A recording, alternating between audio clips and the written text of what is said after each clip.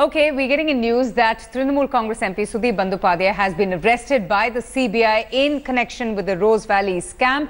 He was questioned for more than four hours by the CBI investigators and now he is in CBI custody. That's the latest bit of information that has just come in.